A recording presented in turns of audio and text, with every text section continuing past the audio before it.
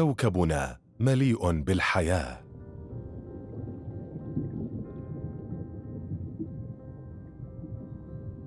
بقدر ما نعلم تعد الأرض الكوكب الوحيد المأهول في كوننا.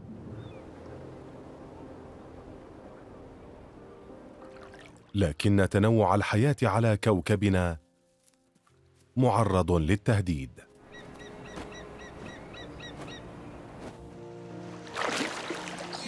منذ سبعينيات القرن الماضي دمرت البشرية 60% من المخزون الحيواني وموائله الطبيعية.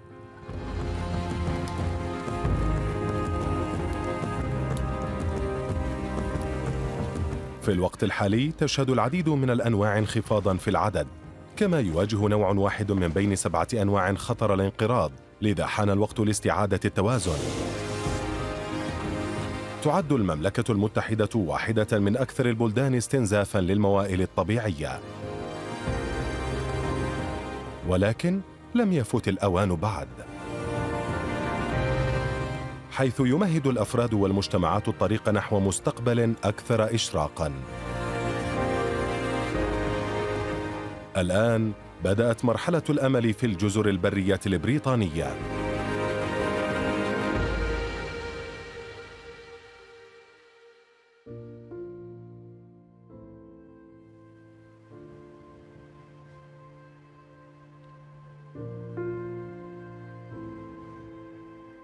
هناك شعور بحدوث تغيير في جزيرة مال الاسكتلندية.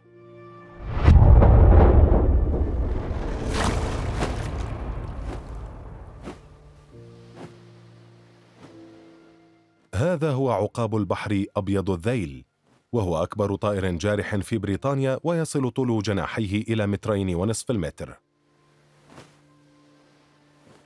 هذا الطائر الملكي كان على وشك الانقراض في القرن التاسع عشر. كان الفيكتوريون يصطادون طيور الطيهوج والحيوانات البرية الأخرى ويربون الأغنام في النجاد الإسكتلندية غير أنهم لم يرغبوا في وجود حيوانات مفترسة بالقرب منهم وكان على رأس أولوياتهم التخلص من عقبان البحر بيضاء الذيل. أطلقت النار على آخر عقاب بحر أبيض الذيل معروف في النجاد الإسكتلندية في جزر شيتلاند في عام 1918 ما يستطيع البشر فعله أمر مخجل حقا. ولكن بعد عقود من العمل الجاد والتفاني عادت هذه العقبان وهي الآن تتكاثر. كانت هذه مهمة كرس لها حياته ديفيد سيكستن ورفاق دربه.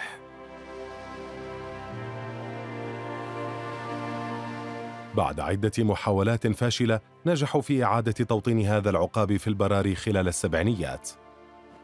بفضل تفانيهم المستمر تم إنجاز واحد من أكثر مشاريع حماية الأنواع نجاحاً في العالم. بين عامي 1975 و 85 جلبت من النرويج عشرة طيور سنويا ووضعت في أقفاص على جزيرة روم حيث تمت رعايتها ومن ثم إطلاق سراحها هكذا بدأت الحكاية لكن لم يكن لهذه الطيور أقران في البرية لتتعلم منها. وعلى الرغم من نجاح عملية إعادة التوطين إلا أن الأمر استغرق عشر سنوات حتى تمكنوا من رؤية أول تكاثر ناجح لزوج من الطيور في جزيرة مال. لقد كنت محظوظا بأن أعمل لدى الجمعية الملكية لحماية الطيور عندما غادر أول صغار العقبان عشه عام 1985 كنا هنا لحماية الأعشاش من جامعي البيض خصوصا والذين ساهموا بشكل كبير في انقراض الطيور قبل مئة عام. لقد كان لي شرف معايشة هذه اللحظة الفريدة. كنا نجلس حينها أمام خيمتنا الصغيرة. وشاهدنا مغادرة الفرخ لعشه. ورغم معاناتنا من أسراب البعوض ورذاذ المطر إلا أننا كنا حين ذاك أسعد الناس في البلاد. لقد كان ذلك أول فرخ من نوعه يطير في سماء بريطانيا منذ أكثر من سبعين عاما. لا يزال نسل هذا الطائر يعيش حتى اليوم في جزيرة مال وقد تم وضع عدد قياسي من البيض عام 2021 كان ذلك أكبر عدد من فراخ العقبان الذي يمكنني تذكره. أما هذه السنة فقد غادر الأعشاش عشرون فرخا وهذه نتيجة استثنائية. عندما تفقس الفراخ من بيضة بهذا الحجم تكون ككرة ريش أصغر من راحة اليد. وفي غضون عشرة أسابيع تصبح عقبانا مكتملة النمو.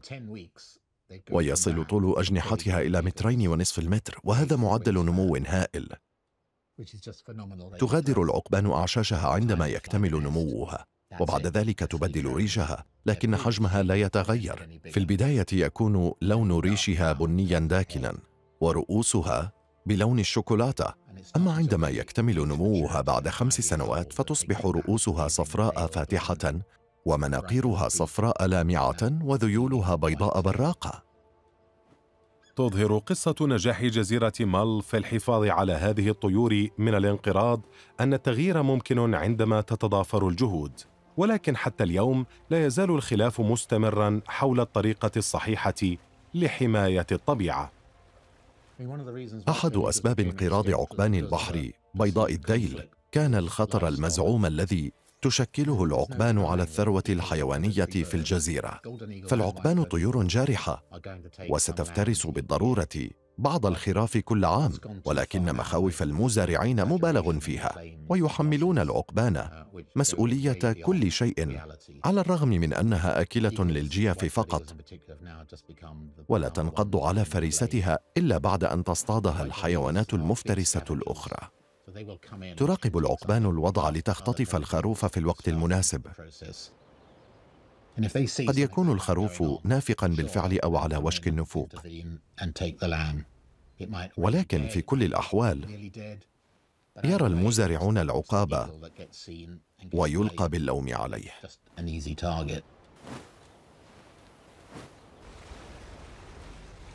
هكذا هو الحال بين البشر والحيوانات المفترسة. نتسامح مع الحيوانات المفترسة إلى حد ما ولكن بمجرد تعرضنا لأي نوع من الإزعاج نحاول التخلص منها. هذا هو التحدي الذي نواجهه. بطبيعة الحال أستطيع فهم وجهة نظر المزارعين لأن ماشيتهم هي مصدر رزقهم. ولكننا نحاول إيجاد طرق لإعادة هذه الطيور إلى حياتنا دون تعرضها للقنص. يمكن أن يكون توفير بعض مصادر الغذاء البديلة للطيور الجارحة حلا للمشكلة. على سبيل المثال إذا صادف وعششت بالقرب من حظيرة خراف فيمكن للمرء أن يقدم لها ثلاثة أو أربع أسماك يوميا حتى لا تقترب من الخراف. ومع ذلك فإن طريقة زراعة الأراضي هنا تتغير في الآونة الأخيرة. الناس يرغبون في القيام بالمزيد لاستعادة النظام البيئي في محيطهم. لم يعد تركيزهم منصبا على صيد الغزلان والطيهوج أو على تربية الأغنام. إنهم يرحبون بعودة عقبان البحر بيضاء الذيل ويسعدون لرؤيتها. إننا نشهد اليوم بداية لحقبة جديدة بكل تأكيد. تلعب عقبان البحر بيضاء الذيل دورا مهما في السيطرة على الحيوانات المفترسة الأخرى وفي الحفاظ على توازن السلسلة الغذائية.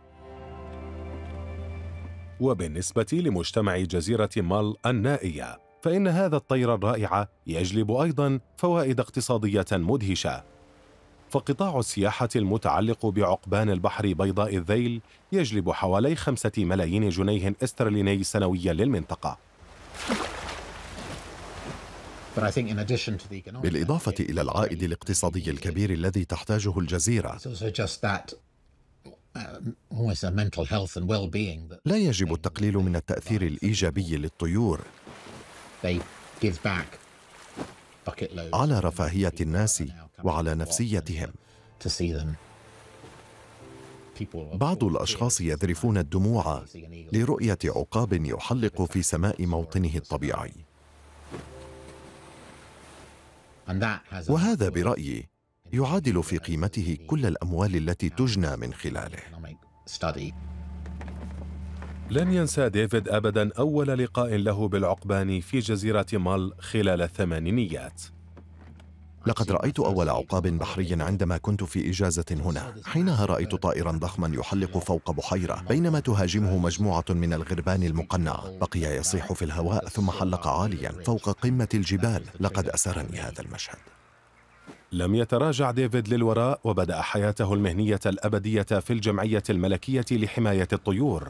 في عام 2003 تم تعيينه مسؤول حماية في جزيرة مال. وهو المنصب الذي بقي متمسكا به حتى يومنا هذا. أنا في غاية السعادة لأن مشروعنا حقق هذا النجاح. سعيد أن نقدم لإنجلترا ما قدمته النرويج لنا في السبعينيات حيث كان لدى النرويج عدد كبير من عقبان البحر بيضاء الذيل وتبرعت لنا ببعض المئات منها. يتمتع نسل هذه الطيور بصحة جيدة لدرجة أننا نستطيع إطلاق بعضها في جزيرة وايت. لذا تحلق الآن أعداد منها فوق الساحل الجنوبي والغربي لإنجلترا. أنا فخور حقا بمشاركة جزيرة مال في هذا المشروع.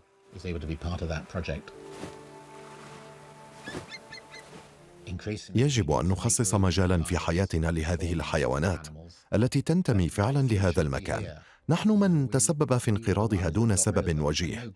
وفي النهاية نرغب اليوم جميعا في تحقيق نفس الهدف. وهو ريف غني ومتنوع بيولوجيا.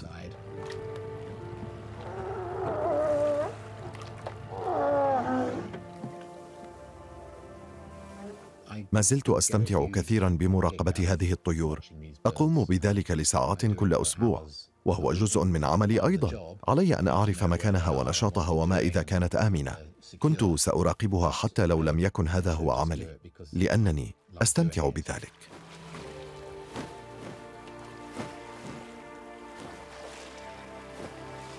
في الثمانينيات جئت إلى هنا مع صديق مقرب. لقد توفي هذا الصديق لكن من خلال عملي ما زلت أشعر بارتباطي به. بعد ذلك أحضرت زوجتي لرؤية الجزيرة فوقعت في غرامها وكانت العقبان بالتأكيد أحد أسباب ذلك. نشأت بناتي في جزيرة مول وكانت العقبان جزءا من حياتهن أيضا. لذا فعقبان البحر بيضاء الذيل تشكل حقا جزءا لا يتجزأ من حياتي بل هي جزء مني. أعتذر.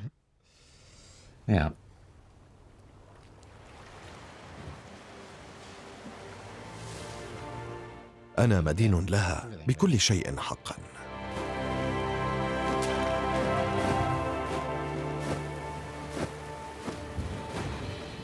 يمكن للطبيعة أن تساعدنا بطرق غير متوقعة.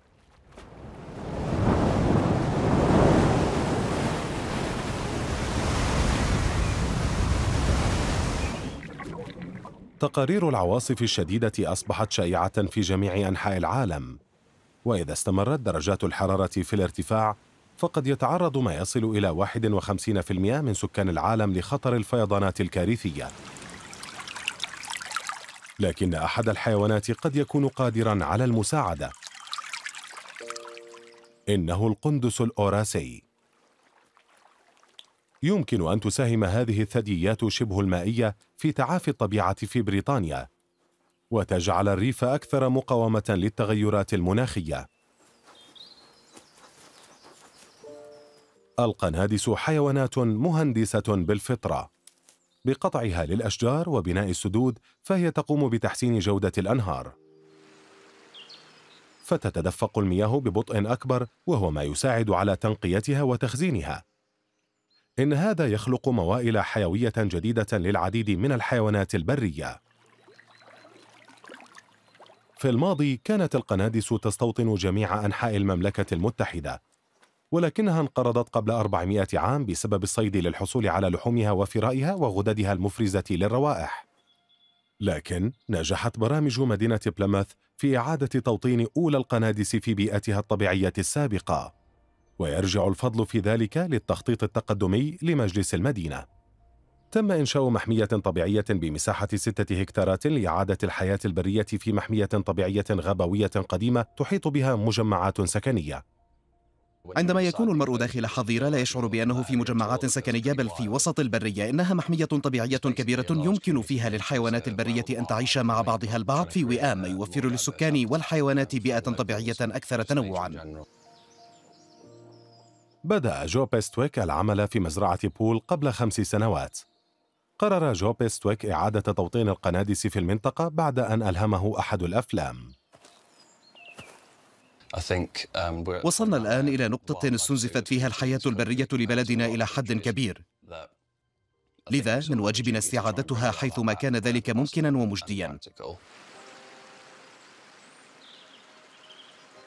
قبل حوالي ثلاث سنوات اجتمعنا وبحثنا سويا في إمكانية تحرير القنادس في هذه المنطقة. لم تكن مهمة سهلة من الناحية اللوجستية. إلا أننا كنا مفعمين بالحيوية ومصممين على تنفيذ تلك الفكرة. بعد فترة استشارات طويلة حقق شغفهم وتفانيهم ثماره. في نوفمبر عام 2020 تم إطلاق قندس ذكر واحد داخل حظيرة مسيجة مبنية خصيصا لهذا الغرض. كان ذكر القندس ذاك أول قندس يعيش في هذا الوادي بعد مرور أكثر من 400 عام. وبعد بضعة أشهر انضمت إليه أنثى. عندما أطلقنا الأنثى في الحظيرة عاشت في البداية منفصلة عن الذكر لمدة أسبوعين أو ثلاثة أسابيع ثم رأيناهما يسبحان معا في البركة لندرك حينها أنهما تزوجا ويعيشان في نفس الجحر. الأنثى هي قطعا الأكثر سيطرة وتتحكم في كل شيء. كانت الأنثى تنتزع العصي من الذكر وتقطع الشجرة وتبني الجزء الأكبر من السد. لذا فهي الزعيمة ويتبعها الذكر في كل مكان.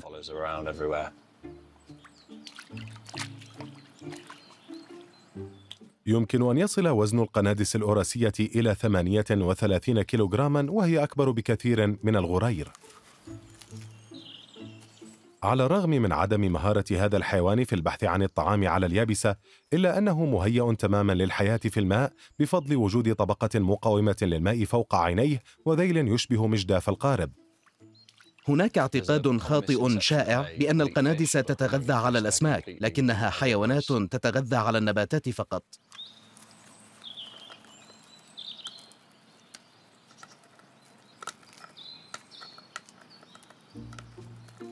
تجرد القنادس الأشجار من لحائها وتأكل شيئا من الطبقة السفلية يسمى الكامبيوم الوعائي وهو في الأساس عبارة عن شريط سكري يغطي كامل الجذع كما تأكل القنادس أيضا كمية كبيرة من الغطاء النباتي مثل العليق والسرخسيات والشجيرات إنها تتغذى على كل النباتات التي تصادفها. يعيش زوج القنادس معا مدى الحياة.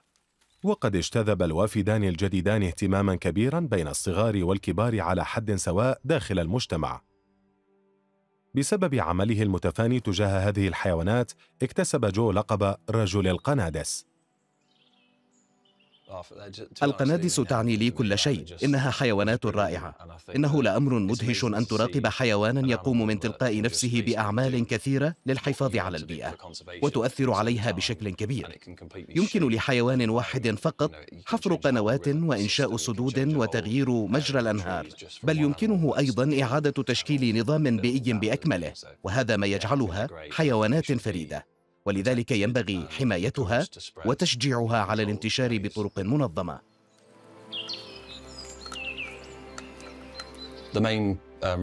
بقاء القنادس على قيد الحياة. كان هاجسنا الأساسي. كنا نخشى أن يقتحم شخص ما بيئة القنادس ويؤذيها. لذلك قمت بنصب كاميرات لمراقبتها بطريقة منتظمة.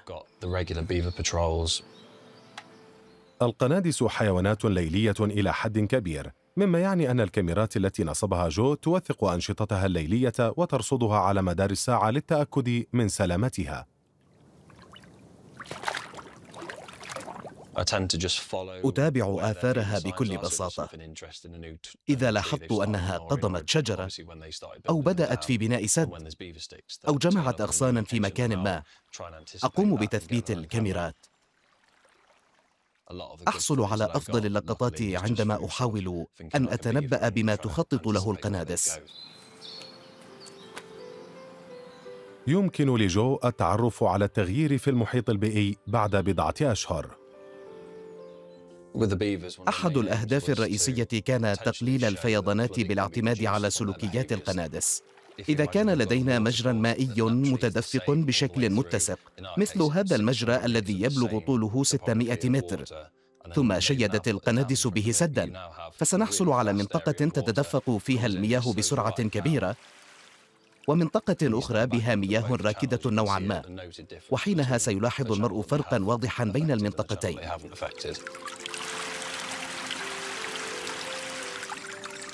نظرا لأن القنادس تبني عددا من السدود التي تبطئ تدفق المياه وتحفر بركا وقنوات تستخدم كخزانات للمياه فيمكن أن يتم استيعاب الأمطار في حالة حدوث عاصفة كبيرة وبالتالي ستقل كوارث الفيضانات. ومع ذلك فإن الطريق نحو كوكب أكثر برية قد يستغرق وقتا أطول من المتوقع.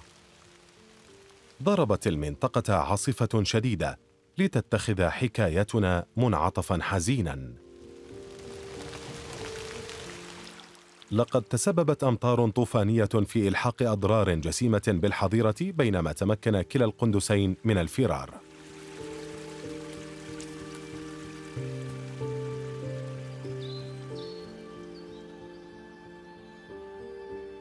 لجأ الذكر إلى مكان قريب ولكن للأسف نفقت الأنثى.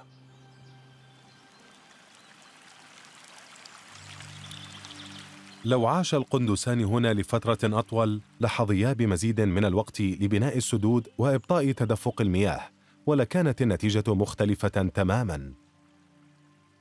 يظل جو وفريقه ملتزمين بالمشروع ويعيدون بناء السياج بتصميم جديد أكثر متانة. إنهم يأملون في استقبال القنادس مرة أخرى في المستقبل القريب.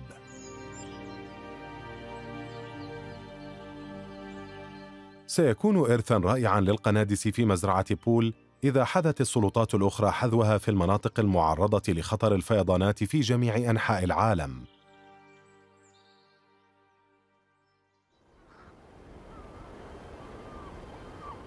غالبا ما يقتصر مفهوم استعادة الطبيعة إلى حالتها الأصلية على الأرياف. على الرغم من أن كل أشكال الحياة على الأرض تعتمد على المحيطات.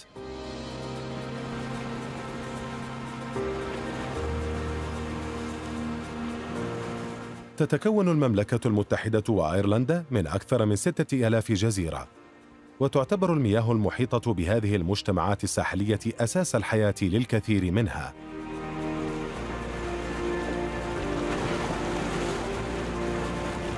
الدكتورة آيلا هولتسن عالمة أبحاث والمياه المحيطة بالساحل الغربي لاسكتلندا هي موطنها وشغفها.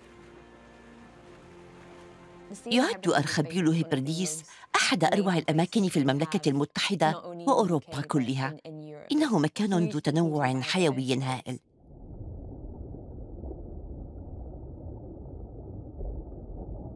ويرجع سبب ذلك إلى التضاريس الطبيعية المتفردة إذ تجد هنا الكثير من القنوات العميقة بجوار المياه الضحلة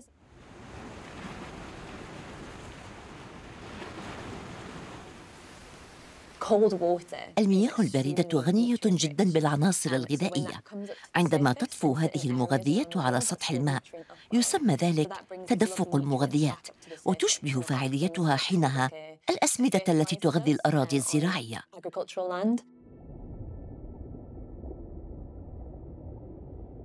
هناك تنوع هائل في الحياة على طول أرخبيل هيبرديس وهو ما يجعله مكانا مميزاً.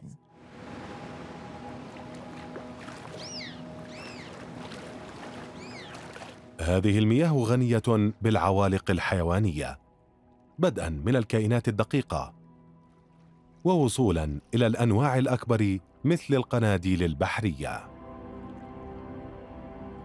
تكاثر العوالق هذا يتسبب في سلسلة مذهلة من الأحداث التي تجذب الكائنات الحية الأخرى لتتغذى عليها. تجذب العوالق الأسماك مثل الإسقمري والرنجة والصابوغة والرماليات. الرماليات هي شريان الحياة في جزر هيبرديس لأنها غنية بالدهون وهذا يجذب كل الطيور البحرية والحيتان والدلافين. وتجذب أيضا الأنواع التي أدرسها عن كثب.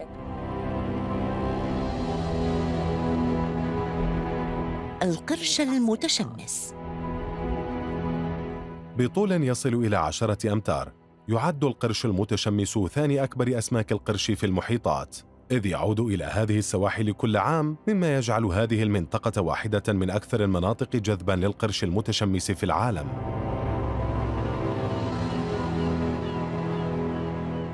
يتغذى القرش المتشمس على العوالق الحيوانية ويقوم بتصفية ما يصل إلى ألفي طن من مياه البحر في الساعة عبر خياشيمه التي تعمل كأنها مصفاة ضخمة.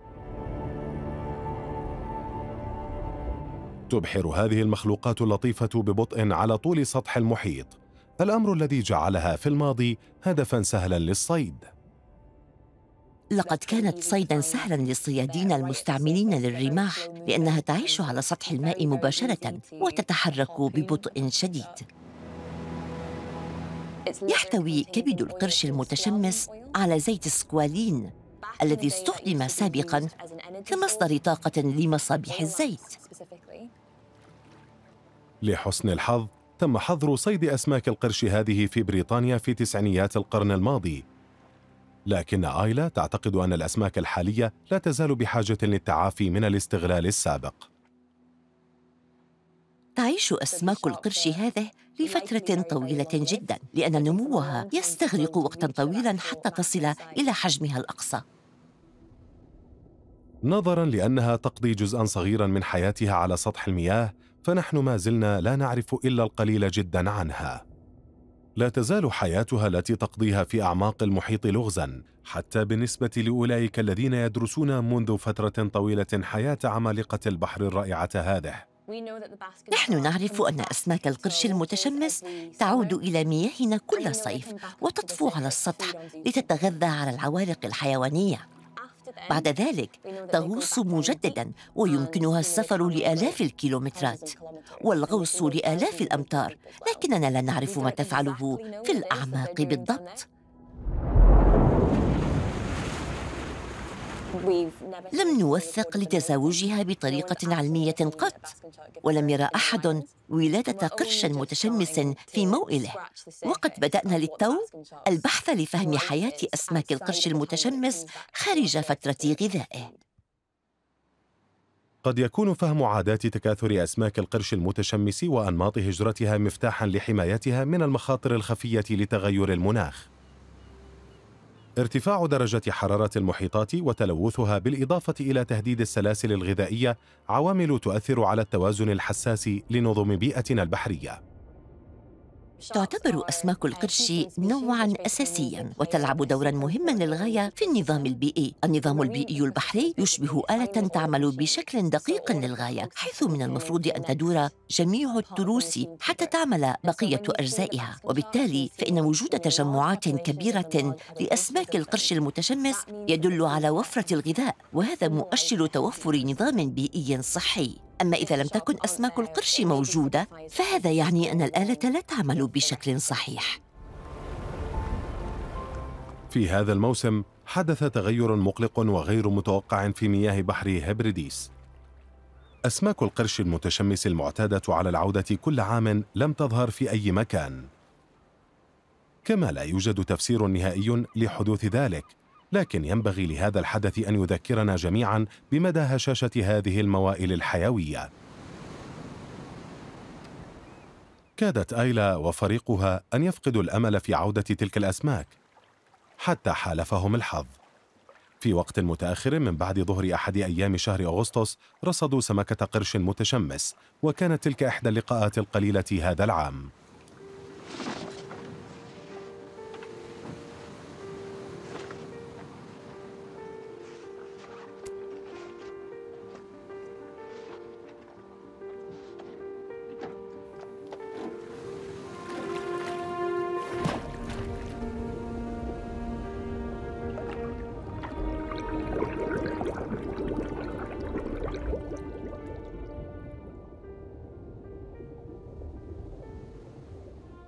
شعرت بالارتياح لأنه من النادر جدا أن يرى المرء سمكة القرش المتشمس فقط في شهر أغسطس وهو نهاية الموسم.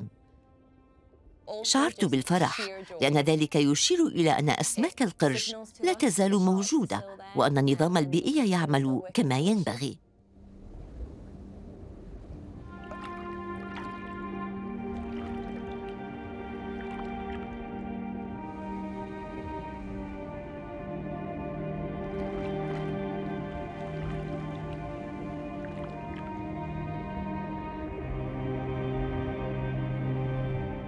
السباحة بجوار حيوان بهذا الحجم هي ربما أكثر التجارب المؤثرة التي يمكن أن يمر بها الإنسان. إذ يشعر المرء بأنه صغير جدا وتافه وفي نفس الوقت يمنحه ذلك فجأة وعيا مختلفا تجاه ذاته تركز أسماك القرش المتشمس بدقة على طعامها. إذا أبحرنا بهدوء على سطح الماء فإنها بالكاد تلاحظ وجودنا. لذا فإن الأمر يشبه فتح باب عالم سري يكون فيه المرء مجرد مراقب. تقربنا من هذه الأسماك لا يعني فقط فتح نافذة على عالم هو في العادة مغلق أمامنا. بل هي فرصة للوصول إلى الماضي لأننا نراقب هنا حيوانات تعيش على كوكبنا قبل البشرية بوقت طويل جدا وهذا ما يجعل الأمر مميزا للغاية.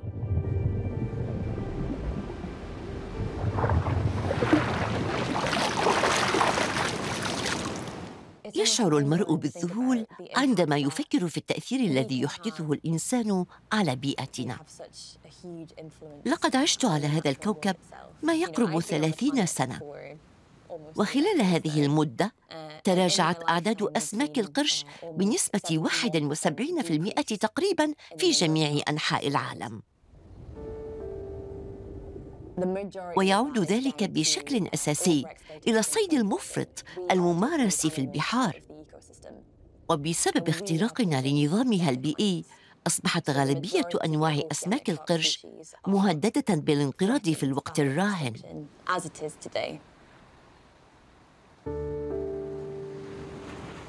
قضت آيلا حياتها كلها بجانب البحر. فقد فتح الغوص عينيها على هذا العالم الخفي. بالنسبة لي إنها تجربة ساحرة. أشعر بذاتي الحقيقية عندما أكون تحت الماء.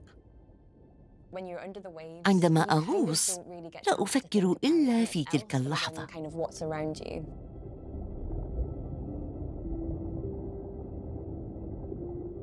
إنها تجربة ساحرة حقاً.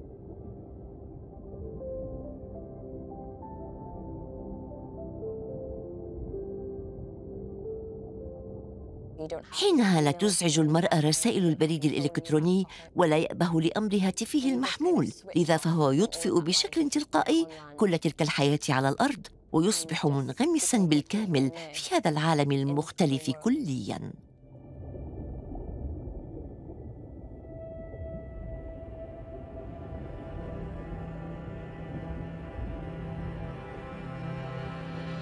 لقد اجتزت بعض أصعب الأوقات في حياتي من خلال وجودي في المحيط بشكل منتظم. هذا أمر مهم جدا بالنسبة لي.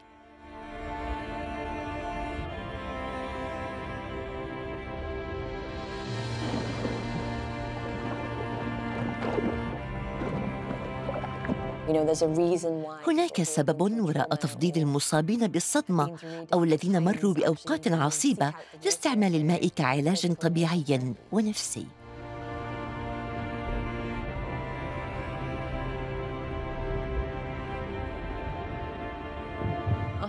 تستحق بحارنا الحماية لأنها فريدة من نوعها على مستوى العالم. غابات عشب البحر مثلا ليست جميلة فحسب بل هي مخازن ضخمة للكربون كما أنها مناطق حاضنة للأسماك الصغيرة وتحمينا من العواصف. هذه كلها أشياء تنفعنا. بالإضافة إلى أنها تلعب دورا داخل النظام البيئي البحري. علينا حماية أشياء كثيرة ويجب أن نقوم بالكثير من الأعمال كخطوة أولى يجب أن نظهر للناس ما سنفقده من موائل إذا لم نتخذ الإجراءات اللازمة للحفاظ عليها.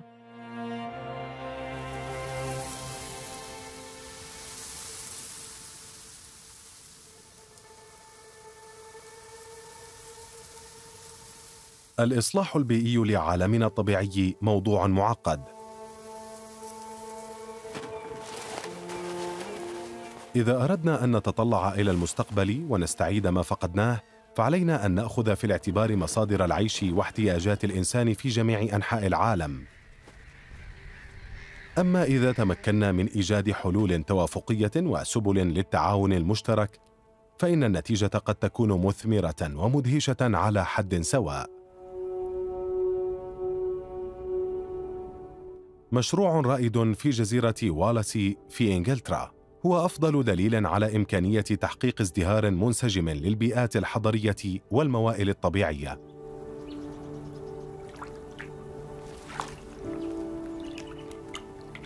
في عام 2008 في إطار مشروع كروسريل في مدينة لندن تم حفر أكثر من ثمانية ملايين طن من التربة لإفساح المجال أمام بناء خط مترو جديد تحت الأرض في العاصمة وبالشراكة مع الجمعية الملكية لحماية الطيور تم إنشاء مساحة رطبة واسعة على الساحل باستغلال ثلاثة ملايين طن من أتربة تلك الأرض المحفورة. وهو المشروع الأكثر ابتكارا من نوعه في شمال أوروبا. بسبب ارتفاع الأرض فوق مستوى سطح البحر تم إنشاء منطقة مد وجزر جديدة بمساحة 115 هكتارا من المستنقعات المالحة والسهول الطينية هذه المنطقة الواسعة من الأراضي الرطبة المليئة بالجداول والبحيرات المالحة والمراعي تدار حصريا من قبل الحيوانات المحلية ذوات الأربعة أرجل. وبالنظر إلى ارتفاع منسوب المحيطات الذي يهدد سواحل المملكة المتحدة فإن هذه المناطق الخاصة لن توفر الحماية من الفيضانات فحسب. وإنما ستوفر أيضا موائل متنوعة وغنية بالأنواع ستفيد الحياة البرية والسكان على حد سواء.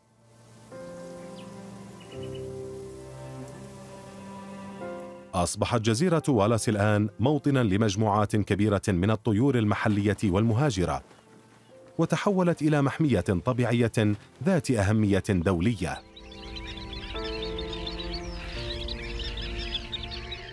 تتدفق هنا النوارس والخرشنوات بأعداد كبيرة بالإضافة إلى الطيور الخواضة الشتوية والطيور البرية. في أشهر الصيف تعشش الطيور مثل طير النكات الذي كان مهددا سابقا بالانقراض في بريطانيا في المنطقة المحمية.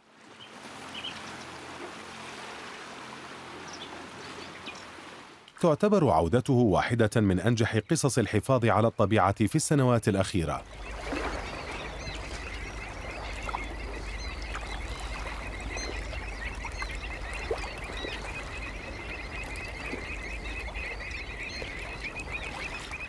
أثناء بحثه عن القشريات والديدان يحرك طير النكات منقاره المميز والمقوس إلى الأعلى تحت الماء من جانب إلى آخر أثناء خوضه في المياه الموحلة. طريقة فعالة جدا عندما لا يمكن رؤية ما يوجد تحت سطح الماء.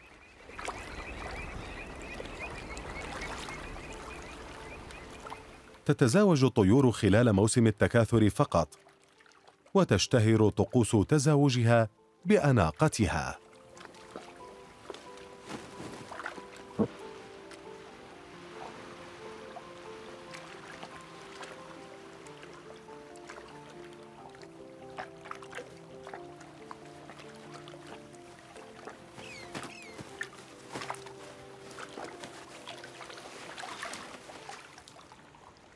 قد تكون هذه الطيور أنيقة وراقصة لكنها معروفة أيضا بدفاعها الشرس عن مناطقها.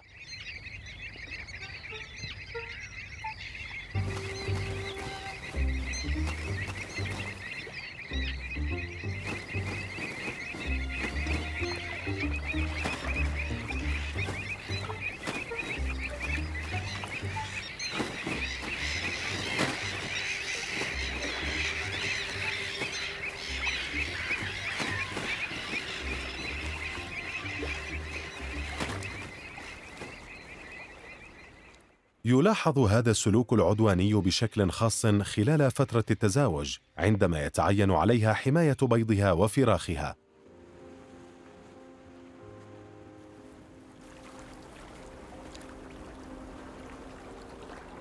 بعد ساعات قليلة من فقس البيض، تتمكن الفراخ الصغيرة الناعمة من إطعام أنفسها تحت مراقبة والديها. ولكن نمو ريشها لا يكتمل إلا بعد عدة أسابيع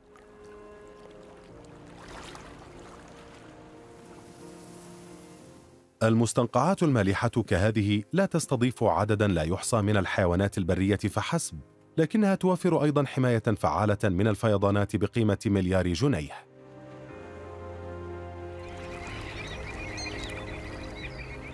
يثبت نجاح هذا المشروع أنه يمكننا إيجاد حلول مفيدة للصناعة والبيئة.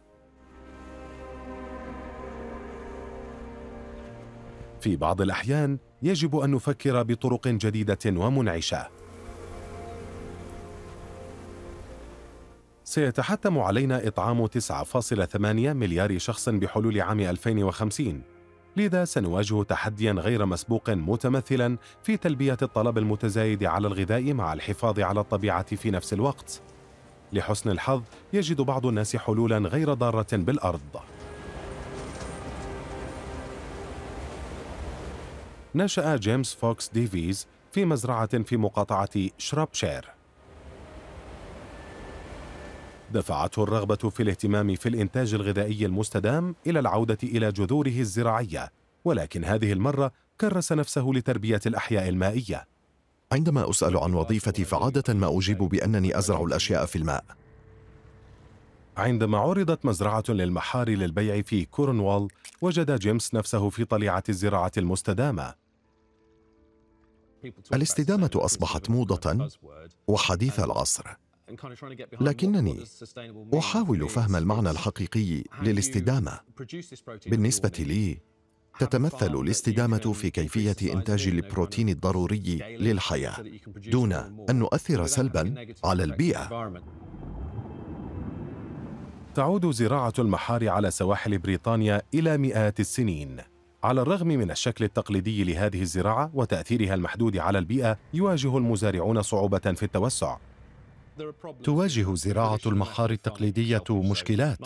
عند زراعة المحار والمحار البري في قاع النهر أو في منطقة ساحلية في بريطانيا يجد المرء نفسه بالقرب من مصادر التلوث. لا يمكن ضمان جودة المياه في محيط السواحل بنسبة 100% ومع ذلك كلما ابتعد المزارع عن الساحل تحسنت جودة المياه. عند زراعة المحار على بعد بضعة كيلومترات عن الساحل تتم الزراعة في بيئة نقية. يقوم جيمس بزراعة المحار باستخدام تقنية تم تطويرها في نيوزيلندا تسمى نظام الخط الطويل والقطارة. تجمع بذور المحار البري من البحر لتنمو على حبال معلقة مثبتة بحبال في القاع. نترك المحار البري ينمو لبعض الوقت ثم نسحبه من مياه البحر عندما يصل حجمه إلى مستوى معين. يتم فرز المحار ويوضع في جوارب من القطن العضوي القابل للتحلل ثم يعاد تثبيته على الحبال حيث يترك لينمو حتى وقت الحصاد بعد سنة ونصف السنة تقريباً.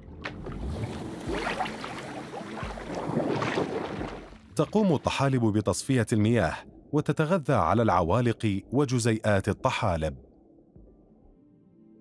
كما كشفت الأبحاث الحديثة أن مزارع المحار هذه لها تأثير إيجابي على البيئة المحيطة بها،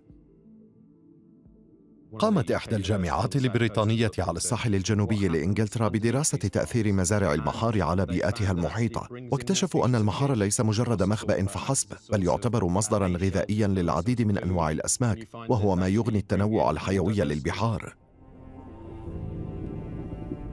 أحد المعايير التي يجب مراعاتها عند مناقشة موضوع الاستدامة هي الآثار المترتبة على هذه المحطات الزراعية. فماذا سيحدث للبيئة عند تفكيك هذه المزارع؟ بعد ثلاث سنوات فقط لن نجد أي اثر لها لأنه لا تتبقى آثار دائمة على النظام البيئي. لا يقوم المحار بتصفية المياه فحسب بل يحتجز أيضا الكربون في أصدافه وبالتالي يمنح مصدر البروتين الطبيعي الغني هذا أحد أقل البصمات الكربونية لأي طعام مزروع.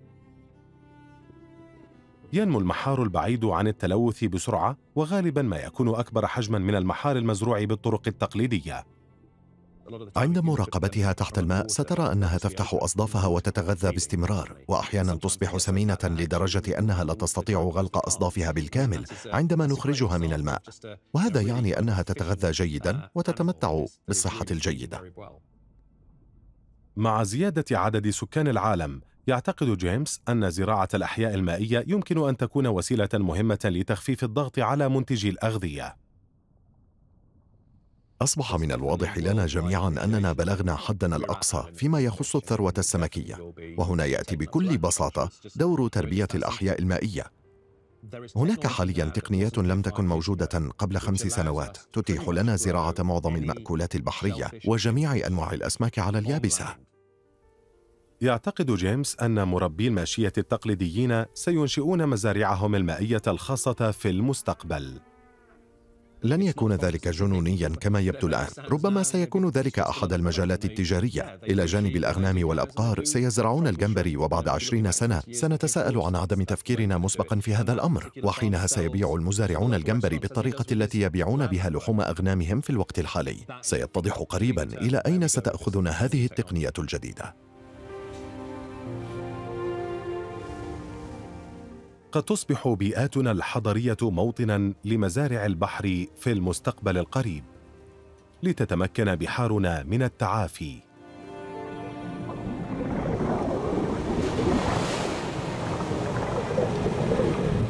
وفي بعض المدن يتم بالفعل تطبيق طرق جديدة لإنتاج الغذاء بنجاح.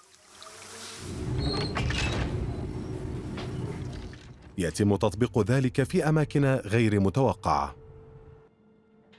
استلهمت شركة Growing Underground اللندنية الناشئة من مدن أخرى حول العالم تقنية الزراعة العمودية في غرف مغلقة تحت الأرض والتي تفتقر إلى ضوء النهار الطبيعي. بفضل مصابيح LED الموفرة للطاقة وتقنية الزراعة المائية المستغنية عن التربة، فإن هذا النوع من الزراعة لا يتأثر بالطقس ولا بالتقلبات الموسمية.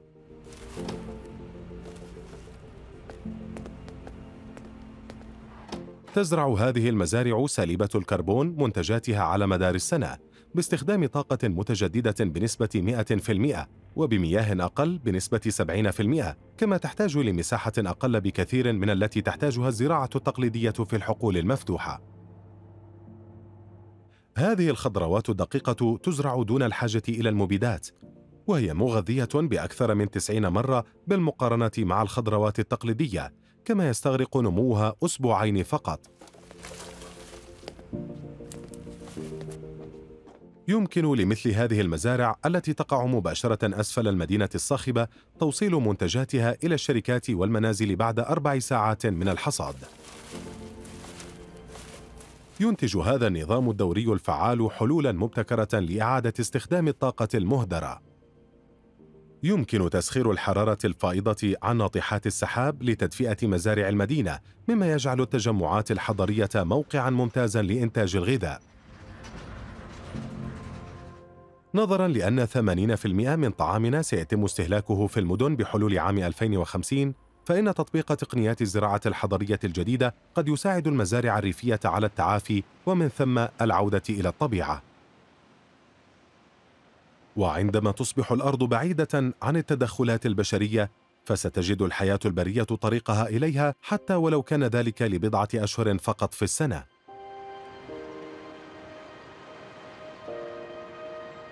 أصبحت جزيرة سكومر في ويلز محمية طبيعية. تجذب في كل فصل ربيع بعض الكائنات المائية المميزة إلى شواطئها، مثل الببغاء الغطاس. بعد قضاء الببغاء الغطاس عدة أشهر في البحر، يعود إلى اليابسة خلال موسم التكاثر.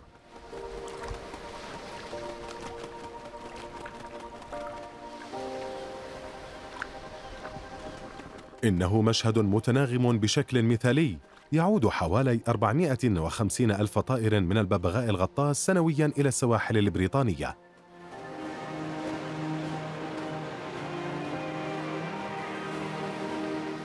كما هو حال العديد من الطيور يجد الببغاء الغطاس طريقه كل مرة إلى نفس الموقع ويبقى هذا لغزا محيرا لنا. تعتبر جزيرة سكومر الويلزية ملاذا رائعا للطيور التي تبني أعشاشها على الأرض والتي تشكل مستعمرات ضخمة على المنحدرات.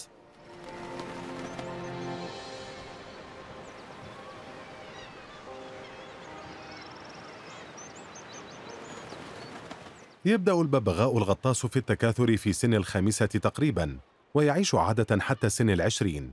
ومع ذلك فببغاوات جزيرة سكومر تعيش عمرا قياسيا يصل إلى 38 عاما.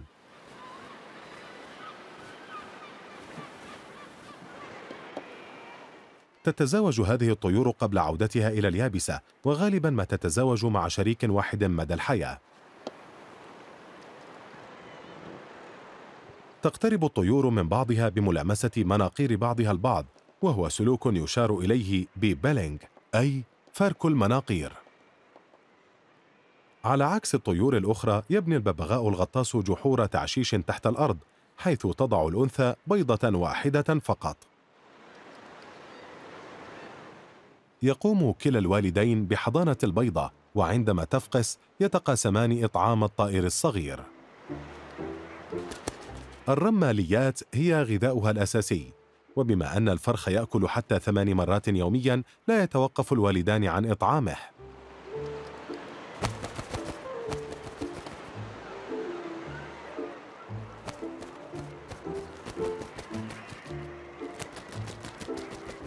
هذا عمل جماعي حقيقي.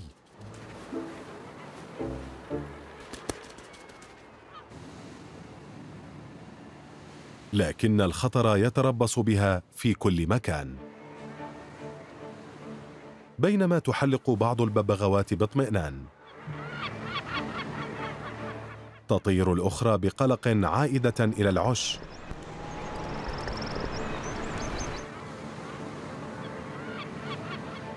تكون الفراخ في مأمن في أعماق جحورها. لكن الوضع يبدو مختلفا فوق الأرض.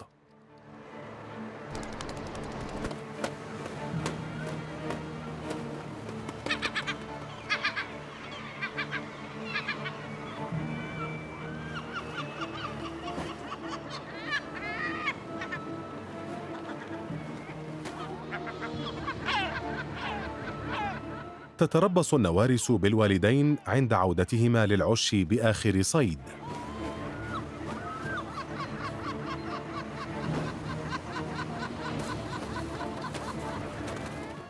فهي في بحث دائم عن فريسة سهلة لإطعام صغارها.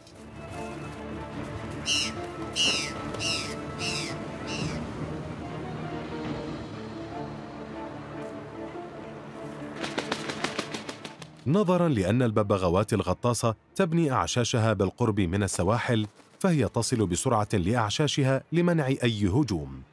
بعض الأحيان يكون من الأفضل لها الاختباء حتى يزول الخطر.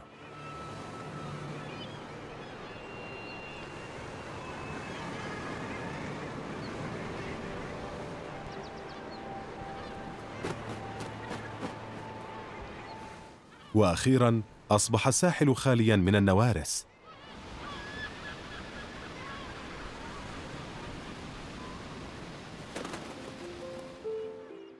الببغاوات الغطاسة تجيد السباحة بشكل مثير للدهشة فهي تتحرك بسرعة كبيرة في الماء وتستطيع الغوص حتى عمق 60 متراً.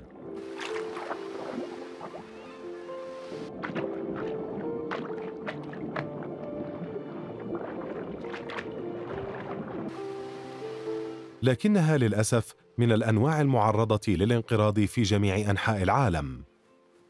وعلى الرغم من تزايد أعداد الببغاوات الغطاسة هنا على جزيرة سكومر فقد شهدت أماكن أخرى تراجعا سريعا في أعدادها في السنوات الأخيرة. فالببغاوات الغطاسة شديدة التأثر بالتغيرات المناخية غير المواتية.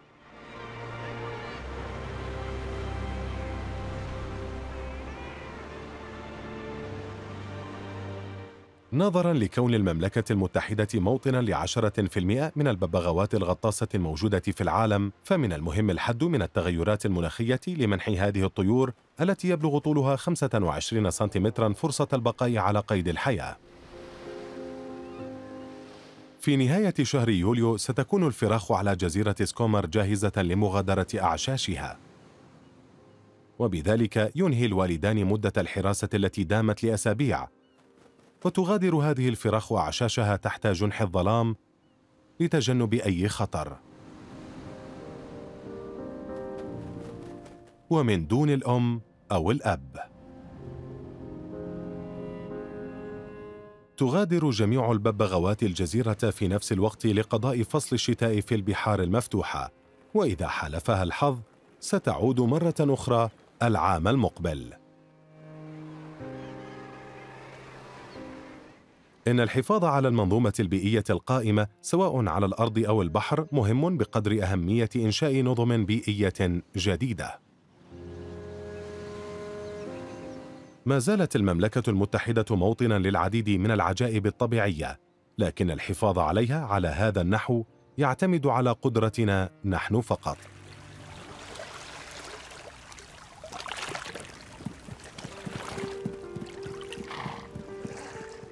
على جزيرة أرن الإسكتلندية. قضى هاورد وود جزءا كبيرا من شبابه في الغوص في المياه المحيطة بالجزيرة.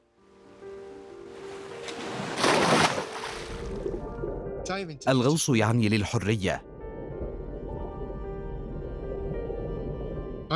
عندما أغوص أشعر بأنني أستكشف أشياء جديدة. ولا يوجد شعور يضاهي الشعور تحت الماء. أحسن أوقات الغوص هو عندما تكون أشعة الشمس ساطعة. حينها تكون الرؤية رائعة وأشعر بأني لا أريد الخروج من الماء. إنه شعور رائع للغاية. كنت مراهقا في سبعينيات القرن الماضي عندما بدأت الغوص. في ذلك الوقت. لم أكن أدرك قيمة ما كنت أشاهده. لأن رؤية ذلك الكم الهائل من السرطانات والأعشاب البحرية والأسماك التي تسبح حولنا كان أمرا عاديا. ولكن بعد مرور عشرة أو خمسة عشر عاما بدأت كل هذه الأنواع التي اعتدنا على رؤيتها تختفي. لم يحدث ذلك ببطء بل حدث على مدار عامين أو ثلاثة أعوام فقط.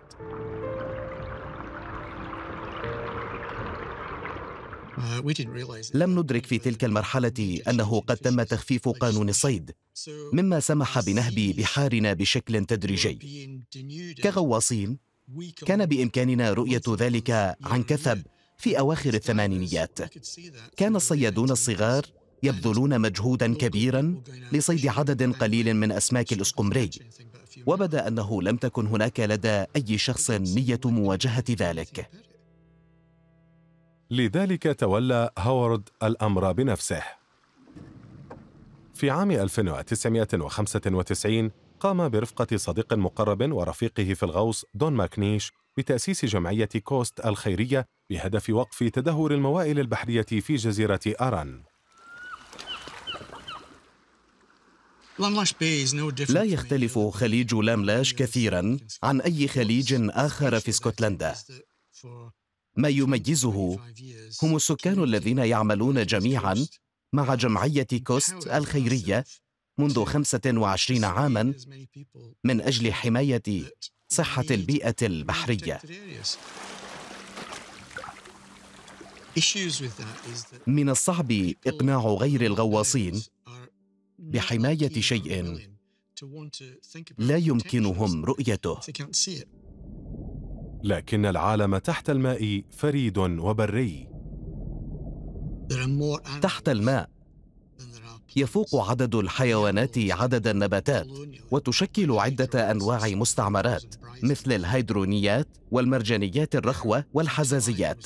لقد تعلمت قبل عشرين عاما من خلال منظمة أبحاث البحر أنها حيوانات وليست أعشابا بحرية. هناك أيضا أنواع حيوانية تعيش على الشاطئ وتتغذى على الطعام الذي يجلبه المد والجزر. لأن الحيوانات التي تعيش على اليابسة لا تستقر باستمرار في نفس المكان. يصعب على الناس فهم الفرق بين البيئة البرية والبحرية. الرحلة التي شرعوا فيها قبل خمسة وعشرين عاماً لم تكن لضعاف القلوب. بصراحة لم ندرك أن الأمر سيستغرق كل هذا الوقت. اعتقدنا أن البحر سيتعافى بمجرد أن نمنع الصيد في جزء منه. ولم ندرك كم المصالح التي يجب أخذها بعين الاعتبار. كان علينا أن نتعلم كيفية الضغط على البرلمان وكيفية استخدام وسائل الإعلام بشكل صحيح كما تعلمنا كيفية مراقبة البحر. بالإضافة إلى ذلك كان علينا إقناع الناس بقضيتنا. فقط عندما تمكنا من جعل المجتمع شريكا في المشروع بدأ المسؤولون في التعامل معنا بشكل جدي.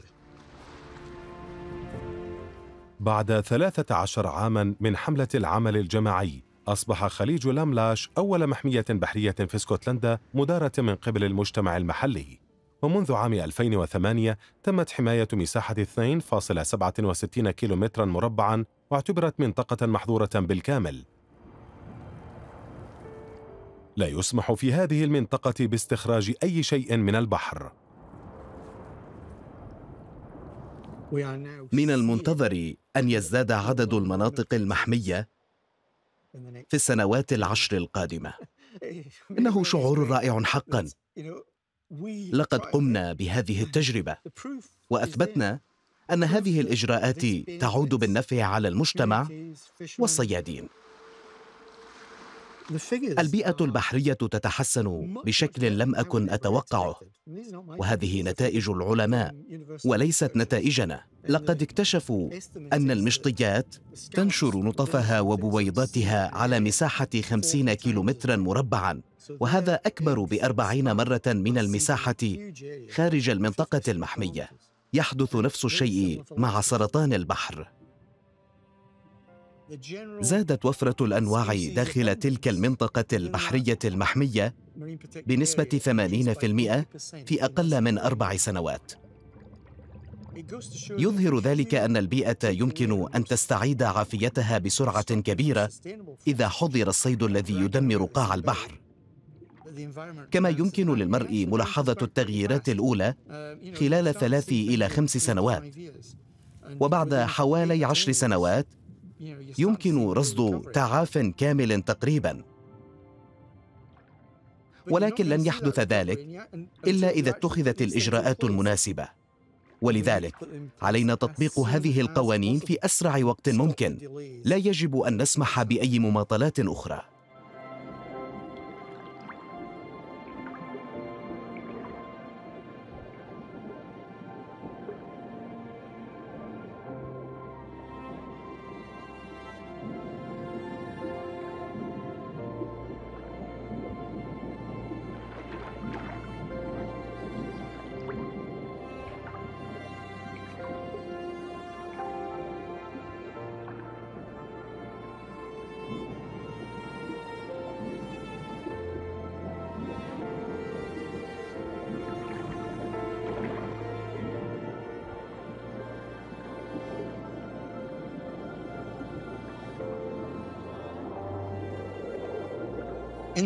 لدينا حلول مناسبة لكل من التغير المناخي ولاستعاده التنوع البيولوجي.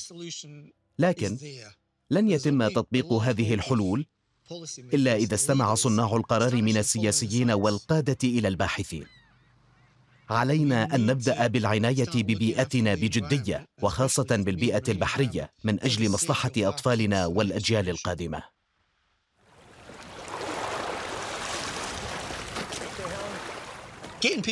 وهذا يساعد في إقناع الناس بالتوجه إلى البحر. أود أن أرى المزيد من الغواصين. ولكن حتى السباحون يخبرونني بما اكتشفوه في مياه البحر.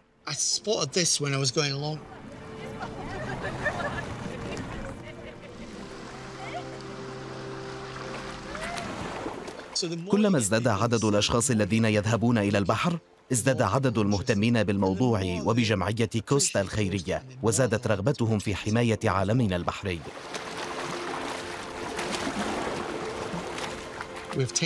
أمامنا عشر سنوات لتنفيذ خططنا على أرض الواقع.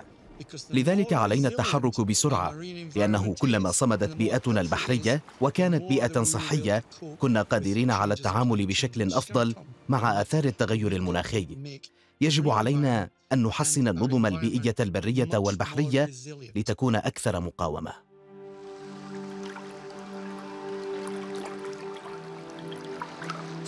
حتى الأفراد يمكنهم أن يحدثوا تغييرا أيضا بدءا بإزالة قمامة الشاطئ أو التي في القاع عبر الغطس.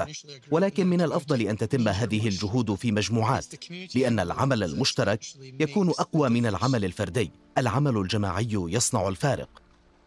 لقد طورت جمعية كوست شبكة كاملة من المجتمعات في جميع أنحاء اسكتلندا. نريد أن نمنح المجتمعات صوتا حتى تتمكن من الدفاع عن مصالح بحارها. البحر ملكية عامة ولدينا جميعا حق إبداء الرأي في الموضوع. أما مسؤولية الحكومة فتتمثل في إدارتها للبحار بشكل صحيح. ليس من أجلي أو من أجلك بل من أجل أطفالنا. مستقبل واعد يكمن في يد البشرية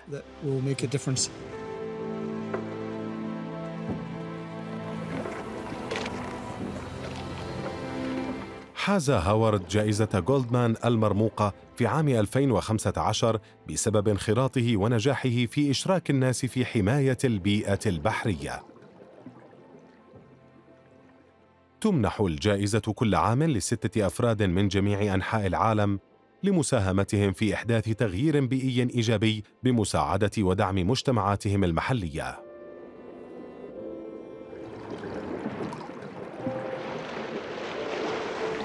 في حفل توزيع الجوائز أدهشني وجود أناس رائعين أشخاص يناضلون ضد قطع الغابات المطيرة يقاتلون ضد الحكومات ويقومون بجهود تفوق كل التصورات. على عكس حالتي. فقد تعرضت حياة هؤلاء الأشخاص. لتهديدات حقيقية. من الصعب علي قول ذلك. لكن لقد قتل أحد الفائزين الذي عرفته جيدا. رميا بالرصاص. بعد تلقيه للجائزة بأحد عشر شهرا. لذا فكفاحنا لا يمثل شيئا. بالمقارنة مع أشخاص يخاطرون بحياتهم من أجل حماية كوكبنا.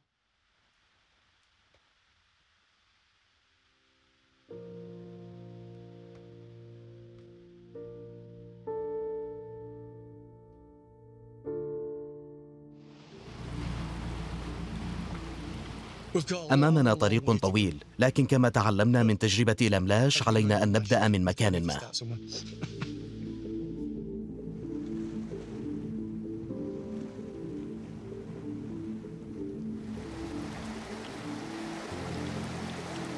في جميع أنحاء العالم يسلط الناس الضوء على أزمة فقدان الموائل على اليابسة وفي المحيطات.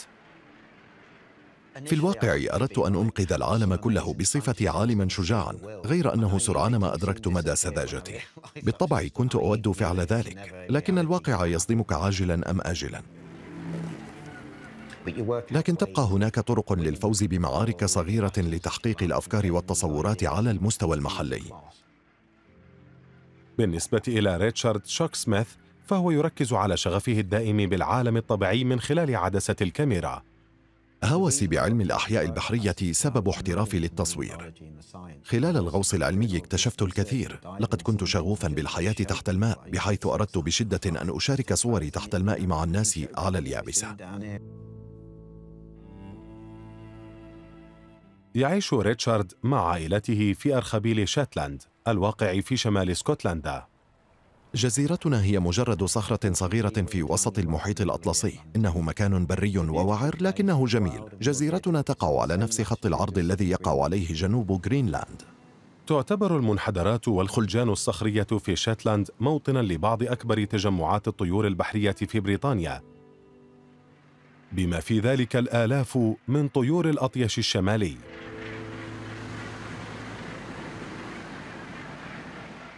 يشكل الجدار الصخري العمودي موقعا مثاليا للتعشيش ويوفر الحماية من الحيوانات المفترسة.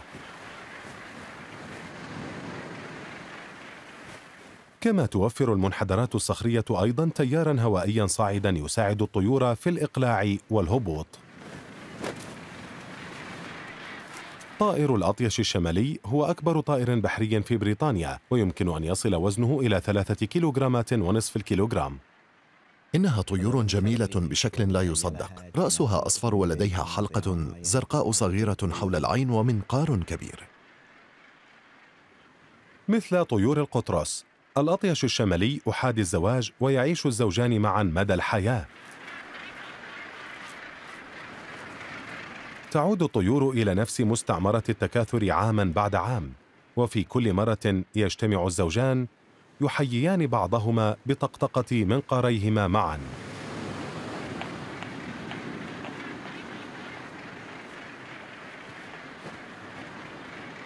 تضع الأنثى بيضة واحدة فقط وتفقس بعد خمسة أو ستة أسابيع. يتقاسم الوالدان مسؤولية رعاية فرخهما. عندما يذهب أحد الوالدين للصيد يحرس الآخر العش. المحيطات ضخمة. لذا يتحتم على الأطيش الشمالي التحليق لمئات الكيلومترات من أجل العثور على طعامه المفضل أسماك الإسقمري. لكن صغير الأطيش لا يترك بمفرده أبداً.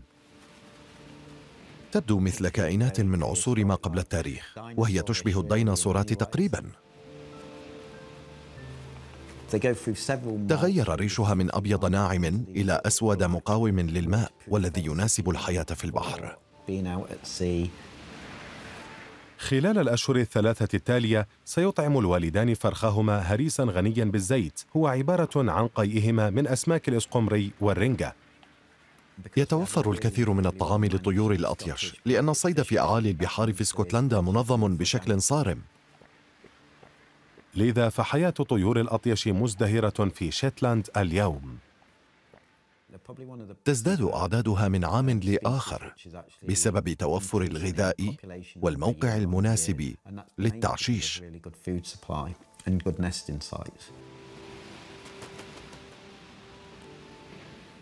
رغم أن هذه الطيور لا تواجه مشاكل في التحليق لمسافات طويلة بحثا عن الغذاء إلا أنها تعلمت بمرور الوقت تتبع قوارب الصيد لتصل بسرعة إلى الأسماك. ما يثير الاهتمام في الوقت الحاضر هو أن كل الأنواع تأثرت بطريقة ما بالنشاط البشري.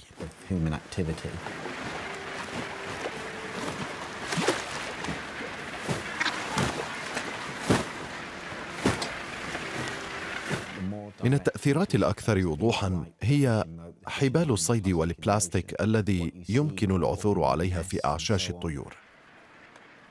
تبني طيور الأطيش أعشاشها على الجدران الصخرية شديدة الانحدار باستخدام كل ما يمكن العثور عليه من حولها إذ تعثر في كثير من الأحيان على النفايات البحرية مثل الحبال وشباك الصيد والبلاستيك وقد يكون لهذا آثار وخيمة. أضمن لكم بأن كل أعشاش طائر الأطيش في جميع أنحاء المملكة المتحدة تبنى باستعمال القليل من البلاستيك. يبدو أن البلاستيك مادة تعشيش مثالية للطيور لكنها تشكل خطرا كبيرا عليها لأن ألسنتها لها أطراف مسننة ويمكن للبلاستيك أن يعلق بها كما لا يمكن للطيور التخلص منه بسهولة. في كثير من الأحيان تعلق طيور الأطيش بأعشاشها. عندما تحاول الطيران بعيدا عن العش تبقى عالقة به ولا تستطيع التحرر منه وحينها تصبح عاجزة تماما وتنفق بسبب ذلك.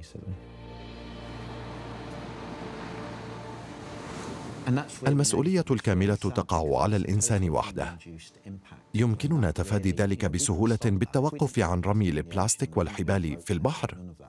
بطبيعة الحال فهذا الموضوع لا يندرج ضمن الأولويات لأن طيور الأطيش تعيش في أوضاع جيدة ولكن لا ينبغي أن يحدث أي من ذلك في عالم مثالي. لقد تم تسليط الضوء بشكل جيد على مخاطر البلاستيك في بحارنا في السنوات الأخيرة غير أن تأثيرها على الحياة البحرية وامتصاصها في السلسلة الغذائية لا يزال قيد البحث. لكن ريتشارد يعتقد أننا لا نركز بما فيه الكفاية على أكبر مشكلة تواجه محيطاتنا أكبر المشاكل التي تواجه بحارنا هي فقدان التنوع البيولوجي والصيد الجائر والصيد بالشباك المخروطية وتدمير موائل قاع البحر. عندما يسحب مركب صيد الشباك المخروطية على قاع البحر، فهو يقضي تماما على الكائنات اللافقارية. في الواقع يجب علينا جميعا أن نعمل بجد للحفاظ على التنوع البيولوجي على اليابسة وفي المحيطات. ومن ثم سنكون قادرين على السيطرة على مشكلات المناخ. بطبيعة الحال كل شيء مرتبط ببعضه البعض. في رأيي فقدان التنوع البيولوجي هو المشكلة الأهم ويجب معالجتها في المقام الأول. ثم تأتي مشكلة البلاستيك في المرتبة الثانية. سواء على اليابسة أو في البحر فإن النظام البيئي المتنوع أكثر مقاومة ويمكنه التعافي بسهولة من الأضرار التي يتسبب فيها الإنسان أو الطبيعة. لحسن الحظ لا تزال المياه المدارة جيدا حول جزر شيتلاند تحتفظ بالعديد من المناطق الجاذبة ذات التنوع البيولوجي. إنه لأمر مدهش ما يحدث تحت الماء والتفاعل الحاصل بين جميع الحيوانات المختلفة. بصفته غواصا متحمسا ومصورا يقضي ريتشارد ساعات طويلة تحت الماء لمراقبة سحر البحر. أحد هذه الظواهر هي الرشاقة المذهلة لطيور الأطيش في الغوص.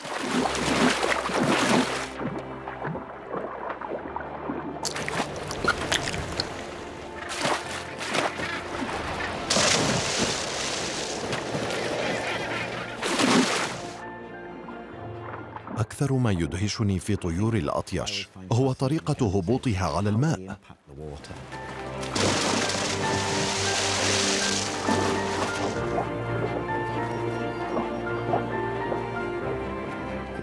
إنه لأمر مدهش حقا أن ترى طائر الأطيش في الهواء على ارتفاع 30 أو 40 مترا ثم يرجع أجنحته إلى الوراء ويصطدم بقوة بالماء. إن منقاره وجبهته مصممان بشكل خاص لهذا الغرض كما تمتلك طيور الأطيش أكياسا هوائية خاصة تحت العينين وحول الخدين. فتحات أنوفها مسدودة كي لا تتسرب إليها مياه البحر وفي بعض الأحيان يمكن مشاهدتها تسبح تحت الماء.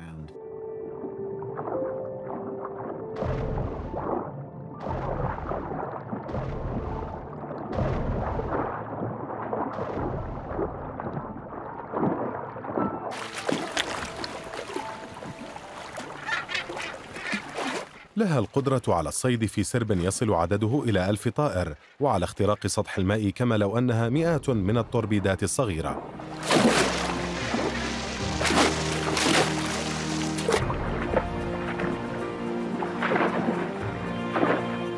وقد تصل سرعتها حينها إلى 100 كيلومتر في الساعة.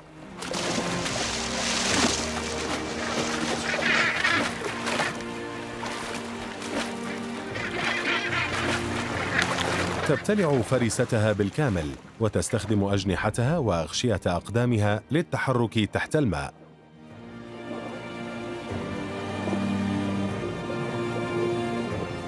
قريبا ستضطر فراخ الأطيش لإثبات قدراتها في الغطس.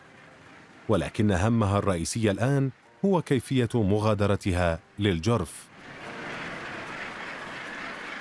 بعد ثلاثة أشهر من الرعاية الكاملة حان الوقت لتنطلق هذه الطيور الصغيرة لتعيش حياتها بمفردها. نظامها الغذائي الغني بالدهون يساعدها على النمو بسرعة كبيرة، لكنها لا زالت غير قادرة على الطيران بعد. تحتاج إلى الكثير من الثقة بالنفس لتقفز بعيدا عن الجرف. عند القفز من ارتفاع يزيد عن 100 متر لا يوجد ضمان لهبوط آمن.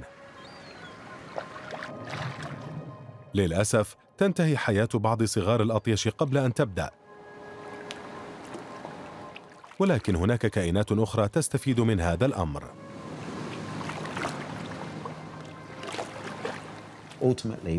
بمجرد مغادرتها للجرف تعتمد على ذاتها. تصطدم معظمها ببساطة على سطح الماء ثم تسبح بعيدا في البحر. تظل عاجزة عن الطيران خلال الأسبوعين التاليين وتحت رحمة البحر. في وقت ما تفقد الكثير من الدهون وحينها تستطيع التحليق مثل أي طائر بالغ وتبدأ في صيد الأسماك. الأمر المثير للاهتمام حقا هو أن لا أحد يعرف لماذا تستطيع صغار طيور الأطيش الغوص بالرغم من أن والديها لم يعلماها ذلك. من المحتمل أنها تراقب الطيور البالغة التي تغوص في البحر من ارتفاع 30 مترا وبسرعة 100 كيلومتر في الساعة ثم تقرر أن تجرب ذلك بنفسها. أم أنها مهارة فطرية؟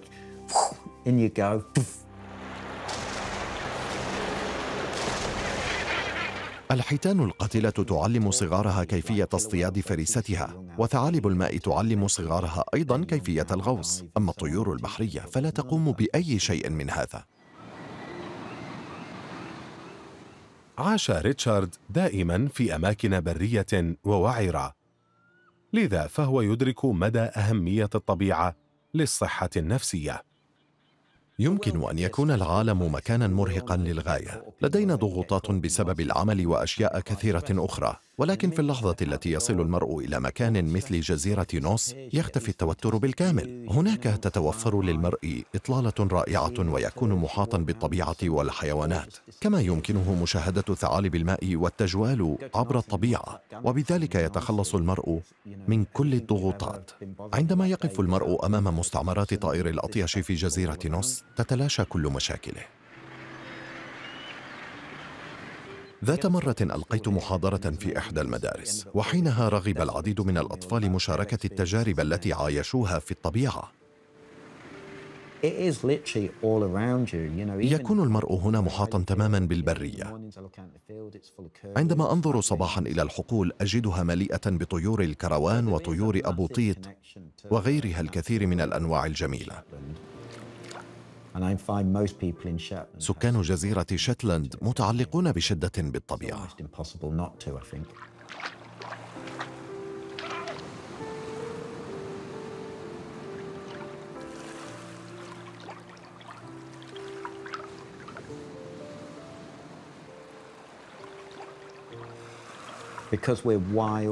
الطبيعة البرية تحكم حياتنا. فالبحر يحيط بنا من كل مكان. إذا صادف ومرت الحيتان القاتلة عبر ميناء ليرويك يصطف مئات الأشخاص فجأة على الشواطئ لمشاهدتها. هناك أمور تثير شيئا في كل إنسان. وبرأيي تعتبر الحيتان والحيتان القاتلة إحداها بكل تأكيد. ولكن هذا الإعجاب وحده لا يكفي. في ضوء النمو السكاني فإن مهمة الحكومات تتمثل في اتخاذ التدابير اللازمة لحماية هذه الكائنات. أتمنى لو بإمكاني أن أسافر عبر الزمن إلى المستقبل لألف عام لأرى كيف سيبدو عالمنا. ربما سأتفاجأ أن الإنسانية قد توحدت وأصبحت كل الأمور مختلفة. ولكن في وقتنا هذا ينبغي علينا جميعا أن نخرج قدر الإمكان للطبيعة ونستمتع بها ونساهم في حماية التنوع الحيوي.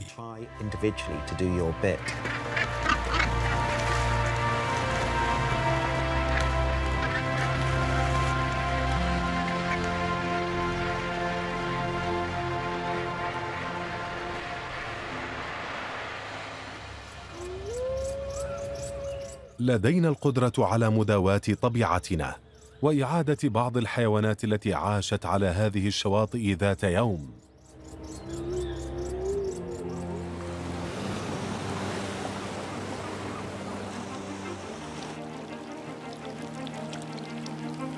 بمساعدتها يمكننا إعادة تشكيل توازن نظامنا البيئي وإعادة الجزر إلى ماضيها البري.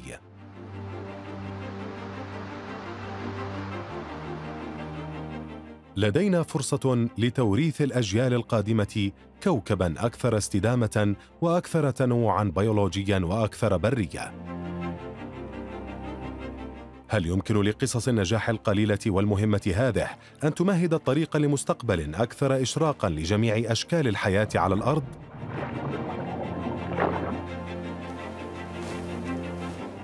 الزمن وحده سيبين لنا ذلك، لأن صوت التغيير يبدأ وينتهي مع كل واحد منا.